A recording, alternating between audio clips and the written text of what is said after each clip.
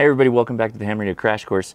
Today, continuing on uh, Antenna November, I have another really interesting antenna. Look at this little, little guy here. This is the K6 ARK. Adam, part of the YouTubers bunch. Uh, you've probably seen a lot of his very interesting videos that he makes. This is his uh, custom 49 to 1 half wave end fed or end fed half wave and the UNUN is attached to the BNC. So this goes straight to your radio, no feed line needed, and it's incredibly light. What a really cool uh, antenna that Adam has sent me. There's only one downside to this antenna.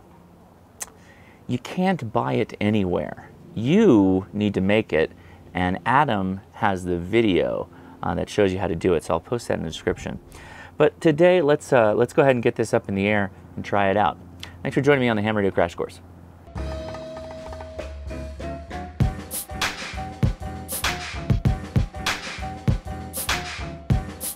To make assembly or hoisting of antenna wires easy, I put a uh, fishing line tip on the end of this tenkara rod, which normally doesn't have that as a little tippet of, of ribbon or string. Uh, and then I attach a shock cord. And that shock cord I'm going to run the antenna through. And that I've found does a pretty good job of, of keeping the antenna wire away from the metal of the eyelet uh, while still being able to get the antenna in the air. So we're to go ahead and hoist Adam's antenna here up. I'm going to lash it to this point right here.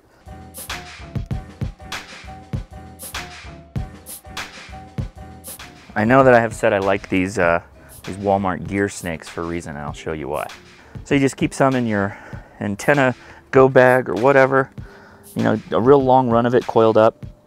When you find a situation where you need a little bit of uh, added security or an extra mount point, just cut it to size. And there you go. So now we got a mounting solution for our antenna here. So what a cool design. Incredibly thin antenna wire, incredibly thin. And he's got the UNUN wrapped through the toroid. It's been heat shrinked and then potted, which means there's like an epoxy resin on the inside. And this just clips onto the your radio, and that's all you have to do. Pretty good. This should be good uh, without a tuner, much like the one that we reviewed earlier from Jason, KM4ACK. Just a much smaller version of this. This can't handle much power. It's more for portability than it is power. All right, so I'm just gonna kind of do what we did before. I'm gonna feed it out. Got a lot of wire building up here. I don't know which direction I'm going to go with this actually. If I'm going to go, I think I might go that way. In fact, that's exactly what I'm going to do. Because that'll get me, yeah, that'll be good. Now you know what? Before I hoist, I'm going to get most of it through. I don't want to play this game. I know where this game leads. Let's go run the property line and see where to mount this other end. All right.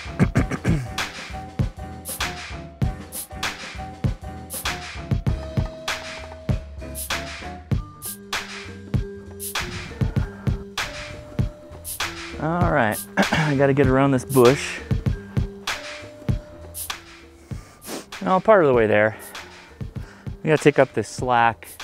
We gotta bring the feed line back down. It, it came loose. And I'm gonna reposition this to take up some more of the slack just to get it up higher. I think that should work out well for us. Maybe I spoke too soon. Let me, God, why?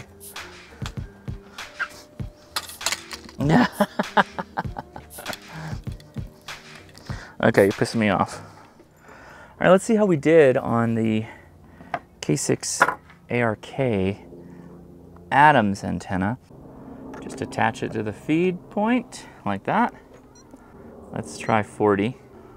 Oh, oh, wow, wow. uh, that is very impressive.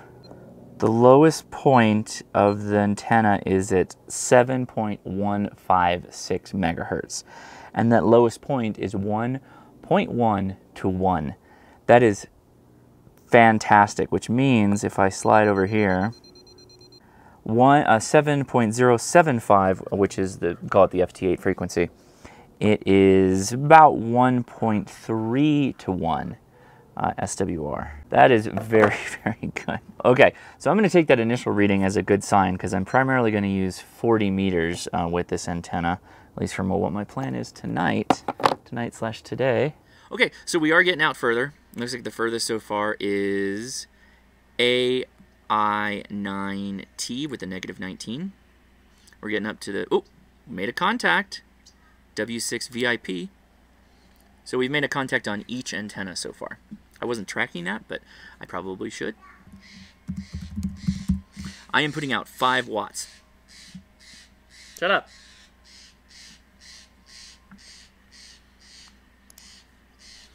Let's blast out some more here. God. What? He got louder. Oh, he's right there. Oh, it's a blue jay. Or two contacts. Two contacts. K, alright, KJ7KIN. Looks like our best was negative 11 dB, and it, it feels like that's about as far as it went. And that was W4WYD, negative 11. So how do we do with this little antenna that could? Pretty well. During the live stream when I uh, did a kind of field review of the different portable antennas I dragged out to Big Bear, California, the K6ARK antenna did fine and it got extra high marks for its portability. Uh, this thing is incredibly light, it's incredibly small. It can go into any pack uh, that you're going to take out into the field along with a QRP radio or whatever and it's just going to disappear, right? So you can even have a second antenna. You want a little bit bigger antenna, something a little bit more robust. Material-wise, this can be a little light.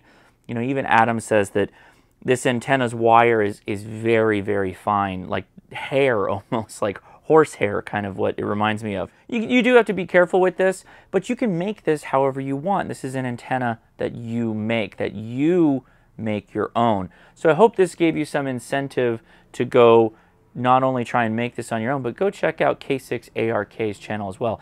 He does amazing antenna videos and also does amazing remote and portable activation videos. He is a very, very active Summits on the Air activator and also very active in the volunteer search and rescue outside of San Diego, California. So please do check him out. I hope you enjoyed this video. Please, please comment below give me a thumbs up, subscribe, and hit that notification because I live stream every 5 p.m. Pacific Standard Time on Saturdays. I hope you join us for that. I'm Josh KI6NAZ. You've been watching the Ham Radio Crash Course, and I'll talk to you later. See ya.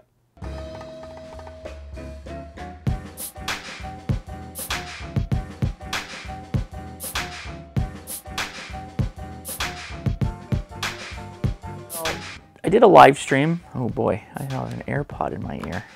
Ha ha ha ha ha ha ha ha ha.